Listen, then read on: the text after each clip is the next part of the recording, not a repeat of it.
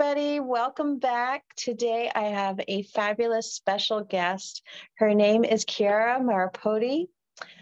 Oh my goodness, her resume is quite impressive, but uh, the work even more so. So let me share with you. She is a seeker, she's a learner, a researcher, she's a clinical hypnotherapist. She's certified in nutritional consultant. I need that. Just saying, especially coming off of recent events. An animal communicator, trauma, and a life transitions advisor. Chiara also has studied many modalities and offers truly one of a kind individualized approach for her practice and to help you get into your best self. She believes in the process of becoming is far from an easy path. However, it is one that is deeply rooted in the human experience, and it's more than doable, especially with the expertise like Chiara on board on your side. She has a melange of intuitive and the scientific gifts. Her goal is to build that bridge that supports the understanding of the self while grounding in best practice because that is an important one. You can get sometimes a little, or at least for myself, I can get too far out and like, oh, wait a minute, I need to ground myself so I can actually process it. So Anyway, so Chiara supports her clients through life changing events such as divorce, which is totally right on our topic for today, and those relationship heartbreaks, life-changing events, creating a container to nurture yourself, yourself, sorry, safety and trust, and reconnect the parts of you that have been disconnected through the process either by stress or trauma or those old narratives that kind of sit in the background of our minds and our subconscious levels and seem to dictate quite a bit. so, and that was my dog saying hi. I'm glad. I'm not surprised. Hi. the animal communicator side is already calling her out. Too funny. Oh, oh my goodness. and last but not right? Yes, not last but not least for sure. Dance of the Soul Transformation Center. Okay.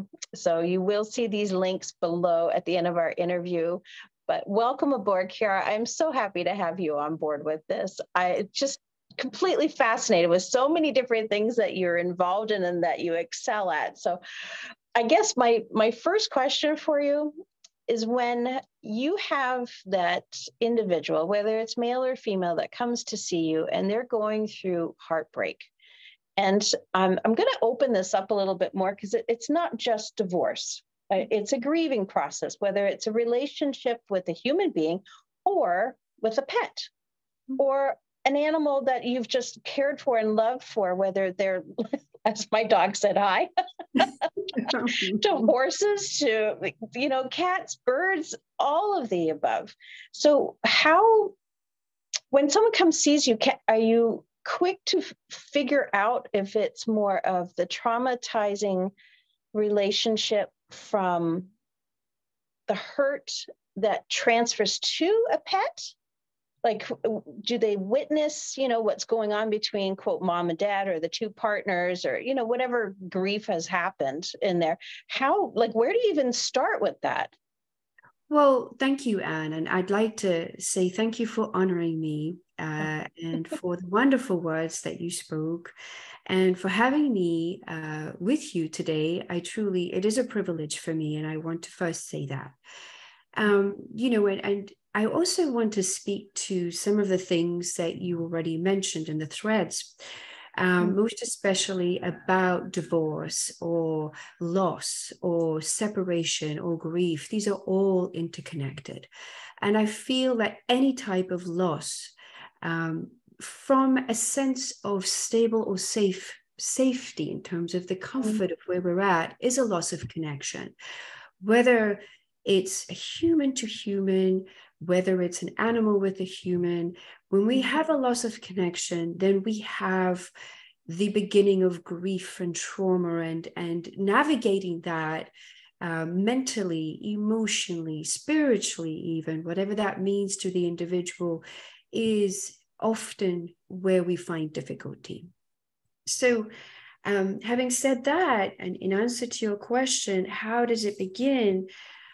Well, it depends if it's if I'm working with a human or an animal, it's slightly different. So the mm-hmm. animals don't have an I am. They don't have the ability or an ego, the ability to deceive or to lie, and they feel everything in their bodies. So the felt mm-hmm. sense is literally in their bodies. They're very much connected to the environment. They're very much connected to the body itself in relation to their space. Mm. They do have an emotional part of themselves experience. And I'm sure, you know, many people who have animal companions, I try and stay away from calling them pets because it means you yeah. I don't own a soul. So, no, no. Um, but you know, it's just a normalized word. But I try and, and, and use animal companion because truly they are walking parallel with us in life. Mm-hmm. And so when we meet, you know, with the animal, for example, having a time to find out who each other is, nervous system to nervous system, body to body. Mm. So connecting really our loss of connection is the refinding the reconnection via the body and then the soul to ourselves each other and also to animals and so when we have layers of distortion my first go to is to look at the person or the animal as a whole being. Mm-hmm. And when we have layers of distortion, they're going to be at all these different points or perspectives, points of consciousness, like I like to call them. And to go to the one that shows up first. There is no script. There's no, well, this is what we've done before, so we're going to do it. Yes, it's grounded in, in, in evidential practice in the sense of we're starting with where are you right now? Because mm-hmm. that's grounding it in the here and now, and it's very important. And then from there, when the person is ready, because not everybody is ready to go into soul connection straight away. They have guarding, they have armoring because their mm. hearts layers be mm-hmm. closed. Mm-hmm. There are layers. Mm-hmm. So you know, we begin with that to and fro between each other because it's a co-creation um, between each other to begin the understanding of acknowledgement of where we're at emotionally, psychologically, and if we can, spiritually, because that loss of connection is really it's even if it's mutually decided in a divorce for example it's a huge life event. Yes. There is a sense of connection loss. What did i do wrong? What could i have done better? You know uh, you know and especially if it's if it's rooted in infidelity for example that becomes more complex in terms of the experience yeah. what happens is there is almost a disintegration of the narrative and belief of who we are what we think mm. we are mm-hmm. in relation to others life in relationships and so what we thought we knew disintegrates. It's no right. longer, it's a crumbling of the old to bring about the new, but we're not quite ready for the new yet. And it's a very difficult experience on your own. yes. I can certainly attest to that. It's much like um, dismantling.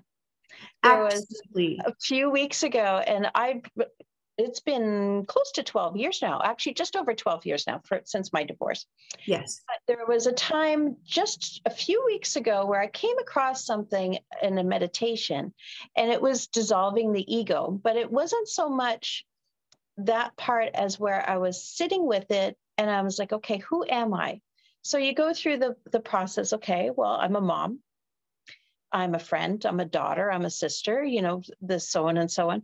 And then when it came to certain work positions, it was like, as you said, like a crumbling, like a dismantling of everything. And it's like, oh, you, it, you kind of get down to the bottom so that you can figure out who you truly are in essence and then rebuild because I unfortunately was involved in that infidelity part of things. And you're right it, it's a it's a whole other level because you don't trust yourself anymore you know and it's incredible. Mm. well i i honor you know i also have been through my own experience of divorce also through infidelity.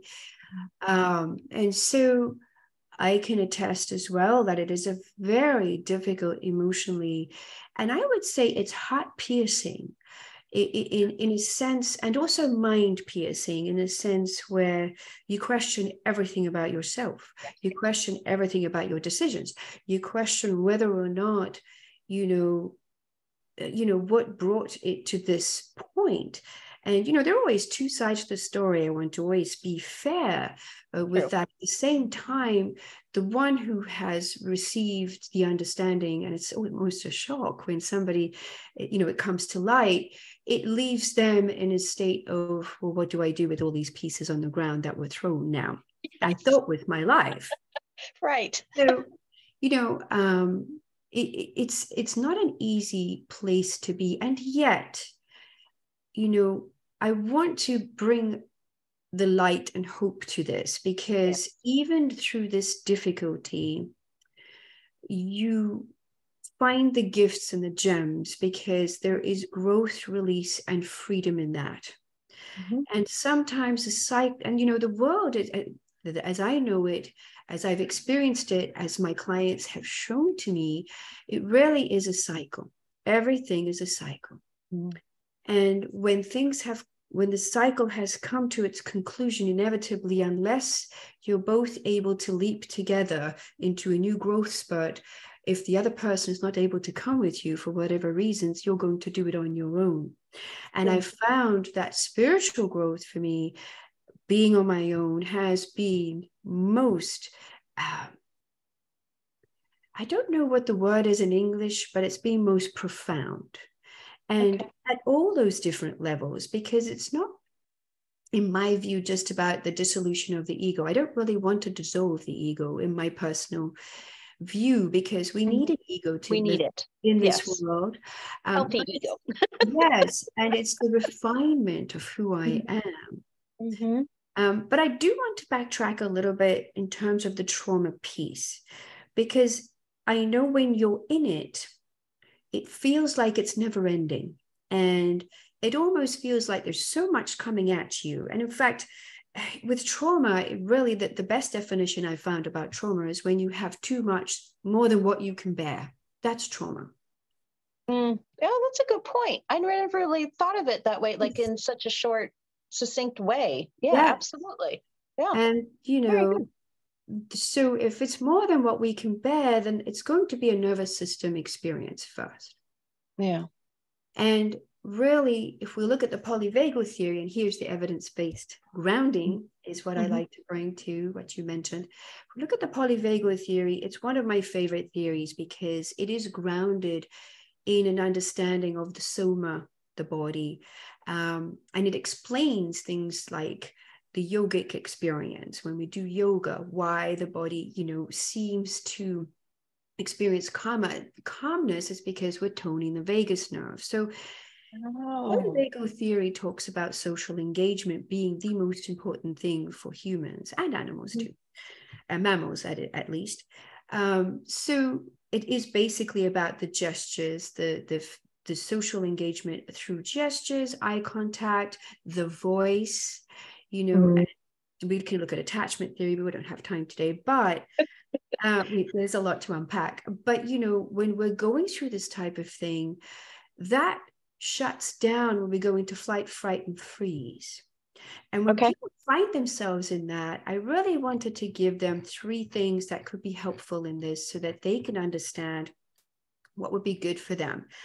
Before I do, I wanted to say that historically we've been told that everything is a top down affair yeah mm. but it's not you know everything's about the brain even in spiritual circles you know go back to the neurons and everything i mm-hmm. i don't believe that's the case i believe and because i've studied with the HeartMath institute i went to search for it because i realized everything's about the heart yeah. and the HeartMath institute shows it's a bottom up affair Hmm. So we can bring the heart into coherence. We can bring bring the rest of the body into coherence. And there is science to this. So it's bringing the DHEA levels down through the breath and the heart. And I'm going to give you some pointers. Okay, perfect. Um, bringing other hormones into place, bringing the coherence of the breath, so bringing the, the anxiety down uh, mm-hmm. for people uh, during these very highly emotionally charged times. And so, even when we're triggered, because, you know, once we've had some trauma, we will have certain points in our lives where we might be triggered by something or someone. We don't really know why. It's a nervous system to nervous yes. system thing before we can actually register bottom up, not top down. down. So, mm. the breath, the mm-hmm. breath mm-hmm. is the most powerful thing. You were talking about meditation. So taking those long, deep breaths through the belly, uh, it helps to refocus the nervous system. The heart, breathing through the heart, the HeartMath Institute suggests and has researched this breathing through the heart space will bring the nervous system down. And again, the movement, engaging in yoga, because you're toning the vagus nerve, which is the wandering nerve of the body, and it is the most important nerve in the whole body for, for you know for longevity, for experience of a coherent life as opposed to being a decoherence, which is the dysregulation of the nervous system, flight, fright, freeze, that's triggered a lot nowadays. So I know we went, I went on and talked a long time. Oh, it's good. um, so it's necessary. yes, no, I'm listening. In fact, I find like even when you're speaking about breath, I've already become more conscious of how I'm breathing sitting here. Yes. And it, it's yeah. funny because it's just just the mention of it. It's like, oh yeah, you change focus that quickly. So I can't I mean, I'm excited, but I can't even imagine how much of a bigger impact I can even create with myself, honestly, but through this. like, and you know, let's talk about therapy as when it's used well by a very seasoned practitioner mm. who is coming from a developed place and a, a place where it's not just the science of hypnosis, which we have a lot of science now with hypnosis, right. but it is the intuitive piece. So the the yes. marrying union of the science and intuition, because when you're sit, standing with someone or holding space with someone, it's mm-hmm. the connection that you have nervous system to nervous system that goes soul to soul later on. That's what I do with the animals and humans. Yeah. So, with the hypnotherapy, you know, what we're teaching people through our voice, through the pacing, we're teaching yeah. the nervous system to feel safe again. Because everything mm. that we've been mm. talking about up to this point is about safety. And yes. I know through my experience, if, you know, the safety was a very big, big thing for me. If I didn't feel safe in someone's presence, I would leave. Mm.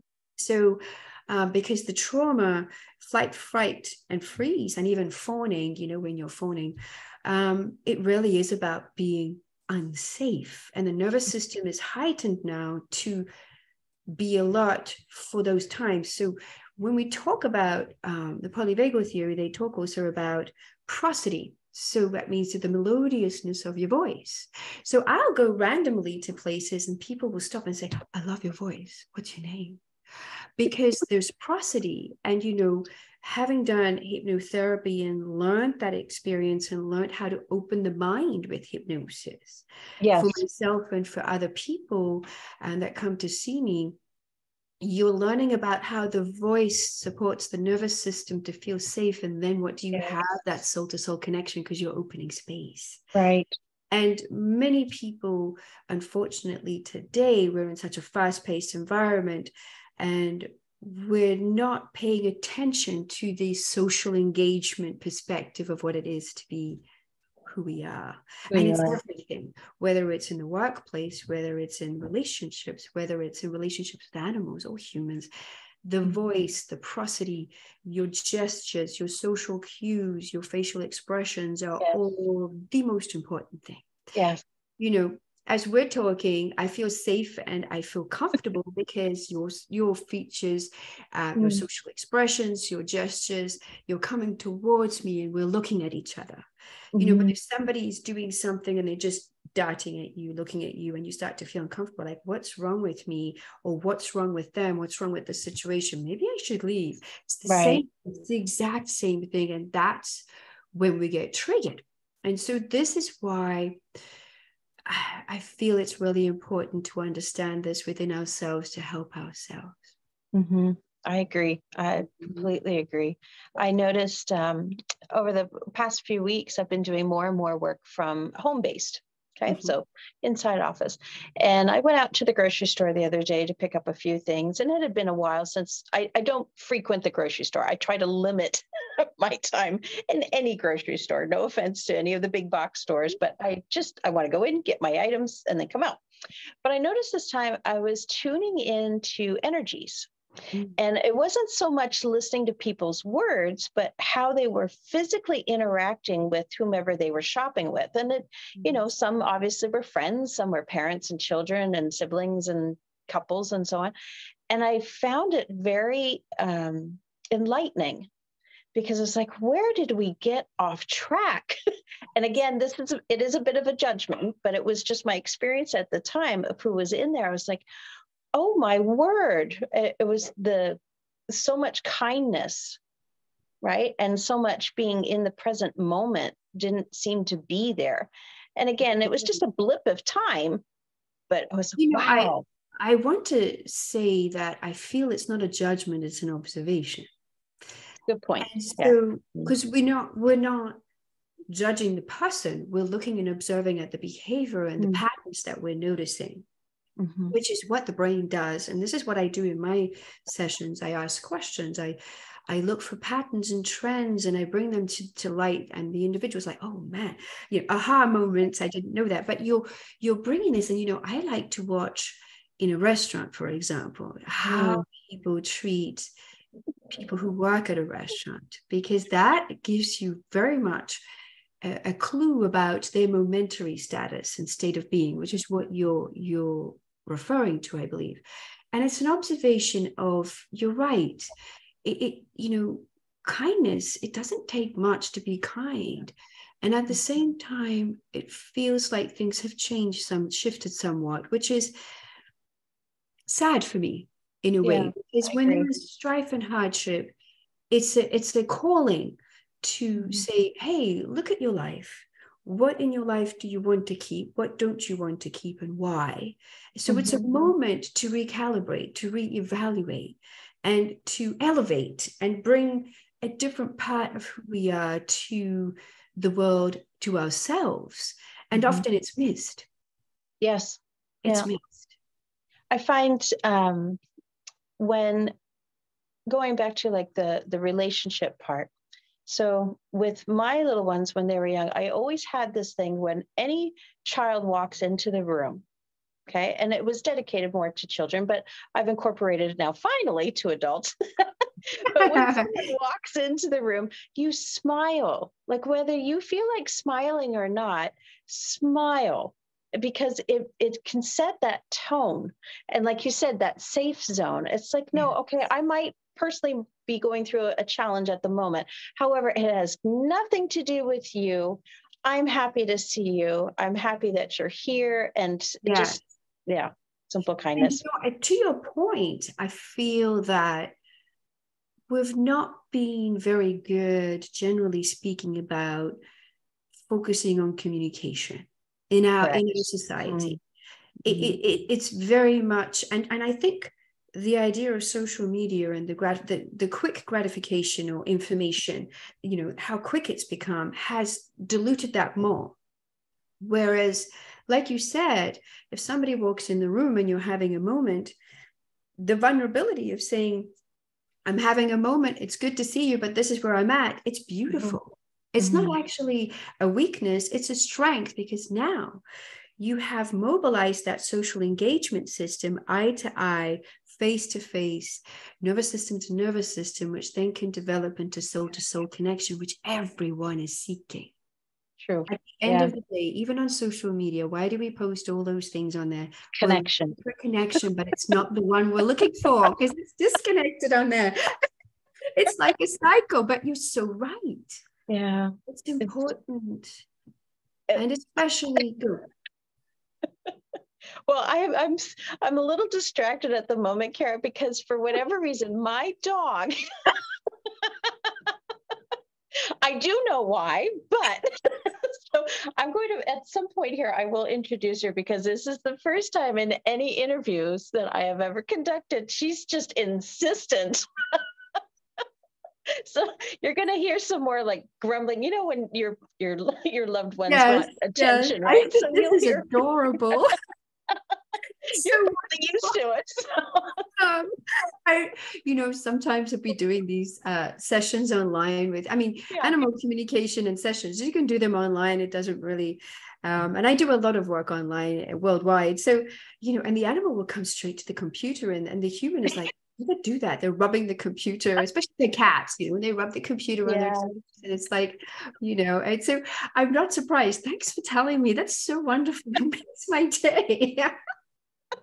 I'm just laughing. She's she's a sweepy. Um, she's a little Chihuahua uh, Papillon mix, and so and oh, I, honest to goodness, yep, the big bat like ears. Yes. But she has um, she'll be turning 13 this year, and there oh. there'll be days, Chiara, where I will look at her and I thank her like not just playing and hugging and you know doing our daily thing but i will literally tear up and thank her for being that support system yes. so and then i look i'm like girl you've been through a lot and you know let's talk about that a little bit because you know yes. and i think you touched on it when we first started but um, it's come full circle around. And this is what usually happens when something's important to be shared, it will come back full circles. And yeah. the animals are absolute players in this. And we might have my cat come too, because she tends to come. just so that, you know, in case this happens. Um, but you know, they do they run everything through their bodies when there is distress in the house. Mm. So with their humans. So for example, if there is divorce, if there is stress, if there is something that's uh, relationally not right, the animals will try and write it and will always use their bodies for that because they live in it. They will run some of the emotions through their bodies, most especially kidneys. I find a lot of work I do in the energy work that I do and the acupressure work I do is based on the kidneys and the gut because oh, wow. they're running their emotion, the emotions of the human that they can't really understand. We have much more complex emotions, and I'm not saying they don't feel complexity of emotions, but they're not mm. human emotions. It's more um, it's a different type of consciousness, and we need to honor that. So they're mm-hmm. running emotions and experiences through their body to try and hold and support their humans up that they can't actually understand. Mm. So, most of my work is removing that, releasing that, supporting them where they're at to come back into their own coherence.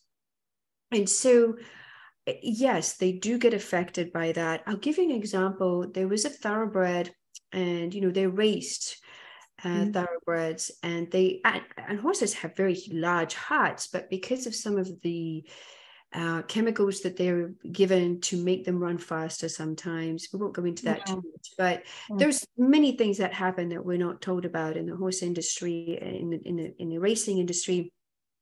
And um, so this horse had an enlarged heart, and he'd been taken off the track and was being rescued. To do communication with him, and he basically gave me the feeling because they give you pictures, feelings, frequencies, colors, and experiences with mm-hmm. the body mind first, not with words. Yeah. So the experience was that he needed to have coherence of the heart again. And the only way to do it was connect with mine. I bring coherence to my heart, and then we have a to and fro, which we did. Oh my goodness. I've never experienced that in my whole life in terms of the intensity of it um, and I, mm.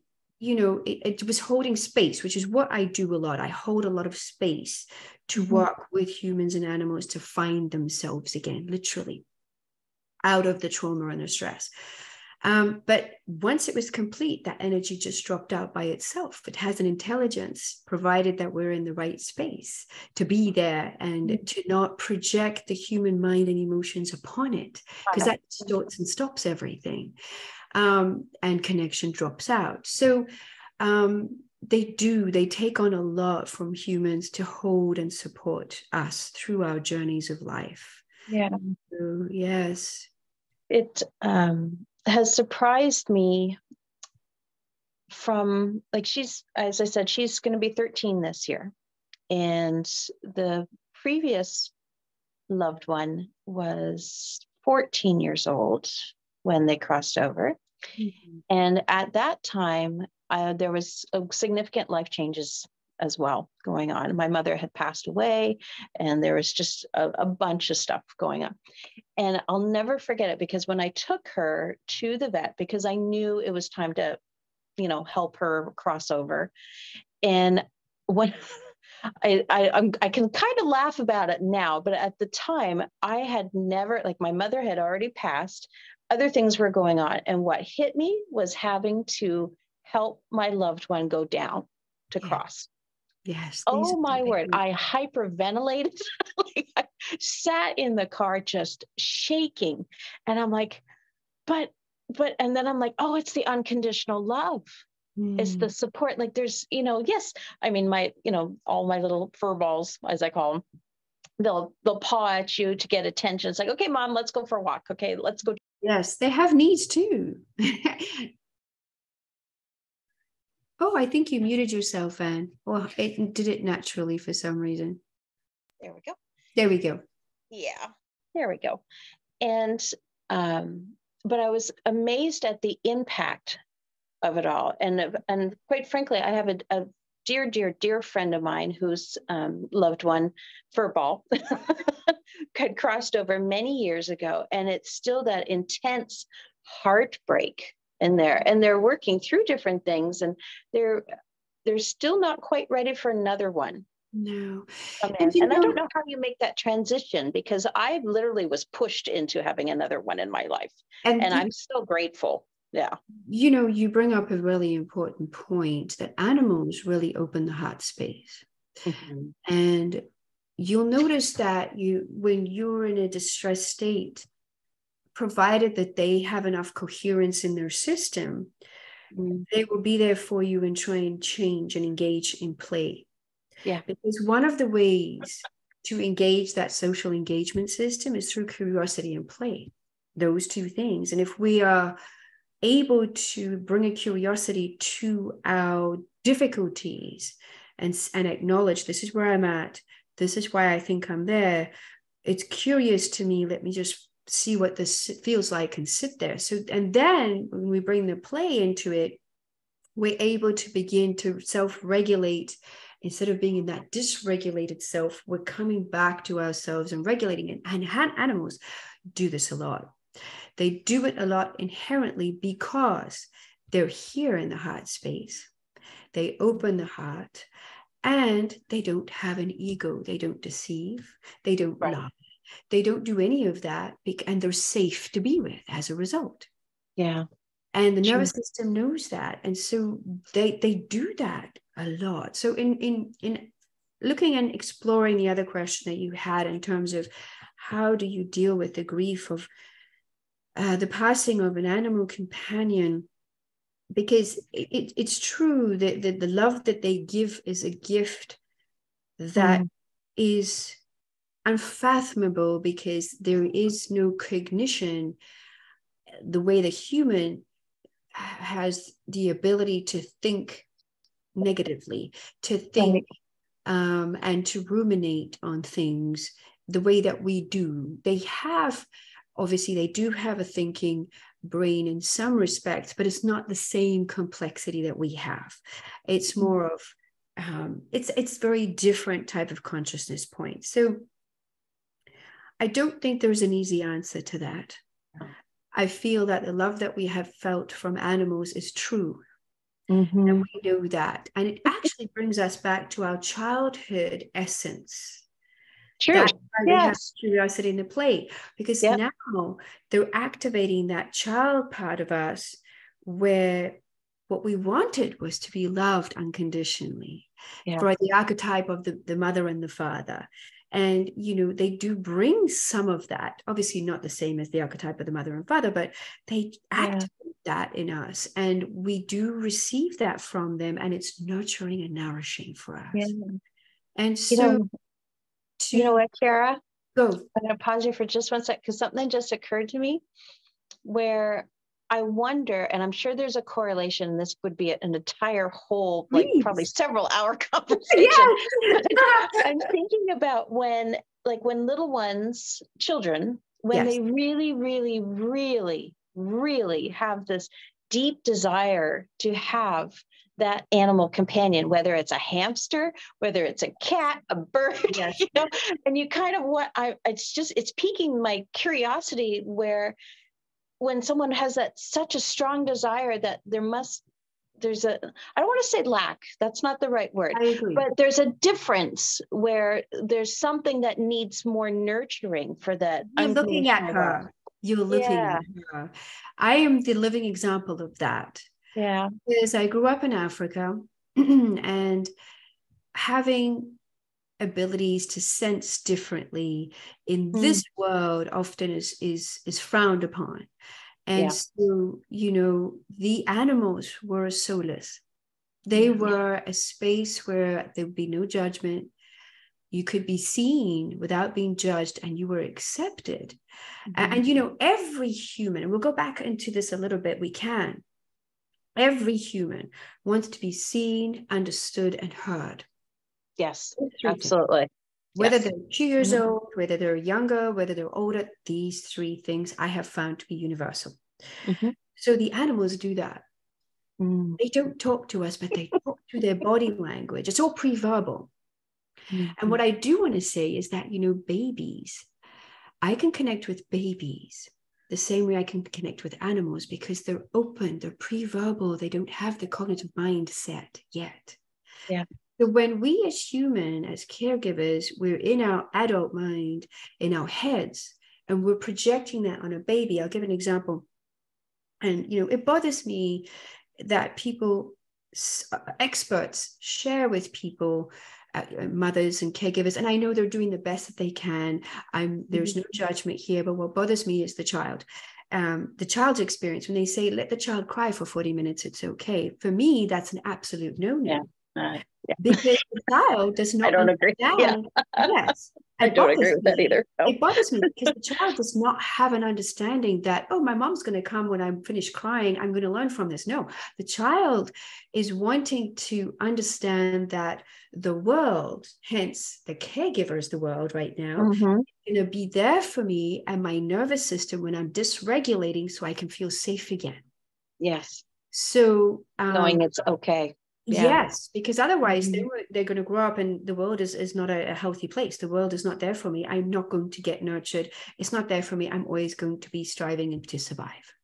Right. And so again, it's because we're at that social engagement, nervous system to nervous system connection, and then the soul to soul connection. And I teach this to caregivers too with their, their, their babies because they're open they're so they're very much similar. They don't have the cognition of the adult mind. It's pre-verbal. I have a nickname to share with you. Please go. So, as you're sharing this with me, it my niece and nephews, when they were little, I have um, a younger niece and then a set of twin nephews. And my sister, at some point, I don't know honestly how it stuck, but at some point I was nicknamed Binky. Okay. Like the little pacifiers. okay. okay and she said I was the only one that was able to calm down my nephews. and to this day, they're adults. I am called Aunt Binky. you know what? I actually think that's the best Funny. pacifier ever, ever. Because if you can pacify the nervous system of a newborn yeah. um, and allow the nervous system to understand that whatever happened and is being stressful, you're going to be okay. I'm here for you. That is the greatest gift that you could ever yes. give to any human, I any agree. animal or human for that matter. Um, uh, going back to my horse, I have a thoroughbred who was on the track. She was terribly abused. She had mm. PTSD. I wrote a paper on PTSD because of her. We used all sorts of integrative therapies to help her, and she's come a long way in the seven years I've had her. She taught me everything about trauma Wow. But, you know, my voice. So this is where the evidence-based practice comes in. Before I knew about the polyvagal theory, I went with my intuition. And my mm-hmm. intuition was if I sang Amazing Grace to her at a certain pitch, using the prosody of the voice, okay, she would calm down. If she was patient, she would calm down. If I made it too high, the pitch, or too low, she'd have a PTSD episode. And I'm like, this is weird. Wow. So I went intuition, mm-hmm. go to science, have a look and look at the science. That's what I do. Mm-hmm. mm-hmm. And there it was. The research is if it's too high, the pitch, you create a PTSD trigger. Too low, the same. But if it's at a certain pitch and you have that prosody, the nervous system is mm-hmm. calibrating. So one day she colicked. And uh, before the vet came out, I did acupressure points, but I sang. By the time mm-hmm. the vet came to her, she was normalized. so you, you know, saved yourself some money. well, more than that, I saved her. Yes. That was my greatest yes, concern. I was like, oh my gosh, I just wanted her nervous system to regulate yeah. as quickly as possible so we didn't go wow. into dysregulation. Um, and obviously, you do need the vet help afterwards. There's always a physiological follow up. Yeah. Whatever you do, I do believe though that whole being perspective is important. So, but these are just examples of how powerful that nervous system to nervous system connection and then it becomes that soul to soul connection is for anything that we do in life and yes it's incredible it truly i'm humbled by i in, in awe in most cases in all cases actually with my clients whether they are human or animal you know it's always a gift it's a gift. oh gift. my goodness yes well i hands down, you are definitely a gift. we all are, you know, to each other. Yes, we I, I just, it's amazing to find people and to find, like, uh, quite frankly, you are the first that I have found that encompasses so much of it and to do it so excellently well, and effortlessly. And I'm sure there's a lot of work behind the scenes going on, especially energetic wise and but it, it's I, it's a blessing. And i'm so glad that you followed your path. And that's the other thing is like when you have that system in place and you begin to trust yourself more and you work on yourself and to follow it it just gets better and better and better. So it, thank you. thank you. I want to say thank you for seeing me. That is the greatest gift that anyone could give to me. And I want to remind everyone that you don't just have one purpose in life. Often we have multiple. Sure. And the purposes change as we change. And that's mm-hmm. what you really want. I feel that people, we're talking generally, of course, we don't have individual, everyone has individual differences, but we're told you need to find your purpose, do this. Really, it's a calling. And the calling changes. And so my calling, I'm going to say, was the animals. They mm. changed my life. and by me allowing myself to be engaged with them in a way that wasn't the norm, really allowed me to develop into and be shaped by my experiences um, and also to with the calling you there's the seeker which comes with the calling once you have yes. it and you feel it then you seek it and it's this beautiful cycle and circular because everything in the universe is circular and to encourage you might i have would like to say a few words of encouragement if i may mm-hmm. often when we feel that we're lost or we feel that we don't have direction Mm. Then it's time to take a, a step back, to breathe, to mm-hmm. come back to the heart space, whether it's touching an animal, hugging an animal to help us in, to get there, movement, seeking out support from individuals who are professionals like you, me, and other people that you've interviewed um, based on their expertise, but ones that resonate with us here. The heart is mm-hmm. Absolutely. Is everything. You can have PhDs coming out of your ears. You can have materialist understanding of knowledge, mm-hmm. but without it embedded and connected with this heart space, the intuition, the wisdom, whatever you want to call it, mm-hmm. then it becomes clinical. And there is a time and space for that. But there's also bringing us back to who we are as humans embodied in this body and we have souls. Yes. Animals have souls. So I hope that that's a message of hope for people. I think so. I absolutely, yeah, I do. Uh, I completely agree with you. It's incredible because, as as you said, you can have that intellectual side, but it needs to be encompassed, and without the heart in there, it's it will get lost again. Frankly, in my opinion. I agree with you. Yeah. And you know, Rudolf Steiner talks about the threefold system. Mm. And the threefold system is the head, which is the thinking, the mm-hmm. hands, mm-hmm. which is the doing in physical reality, bringing abstract to concrete. But mm-hmm. right in the middle, which it's is the it is the heart. it's the heart. Right. So we're right there, you know. and I think that may be how perhaps part of what people are feeling is missing and they're searching for it searching for it. And actually, the temple of love is in ourselves. Yes, I agree. Over time, and and it, it yes, and the support with the trauma helps to reconnect with that in safety. Yes, yes, because once you feel safe and trust yourself again, it's like the it's sky's the limit. Yes, yeah, it's incredible. It's very yeah. True. All right, Chiara, I have one more question for you. so I would, I know, actually, I have a whole bunch of questions, but for now, one more. okay.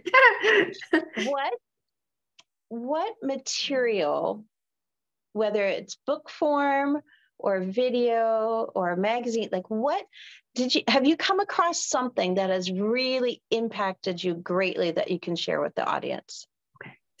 I'm glad you asked that question I have a favorite book. When I was about 28, I was living in London.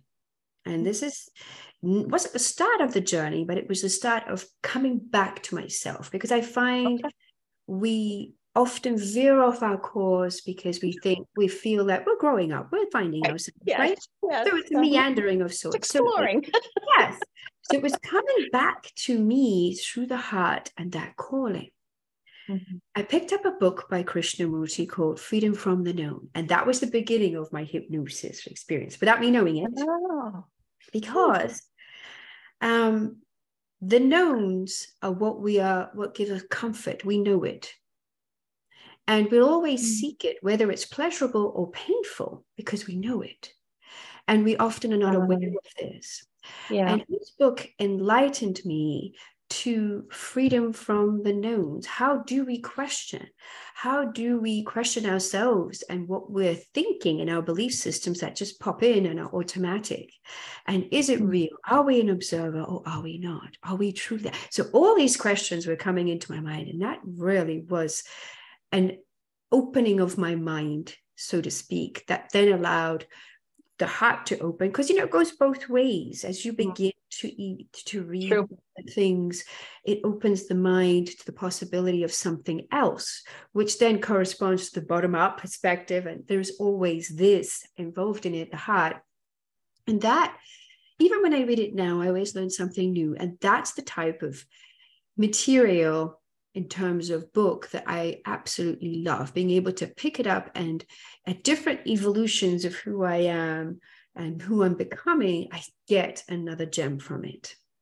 Wow. Okay. I'm definitely going to have to check that one out because I'm not familiar with it. So yes. thank you. Yes. Well, thank you.